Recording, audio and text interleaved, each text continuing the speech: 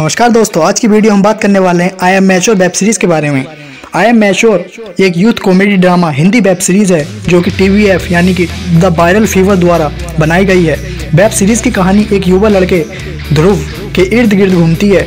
ध्रुव जल्द से जल्द बड़ा होना चाहता है और अपने दोस्त कबीर और सुसु के साथ मिलकर अपनी क्रश छवि को लुभाने की कोशिश करता है। वेब सीरीज़ की कहानी दोस्तों के ग्रुप को बड़े होते हुए दिखाती है और साथ ही युवावस्था में होने वाली घटनाओं पर भी बखूबी प्रकाश डालती है।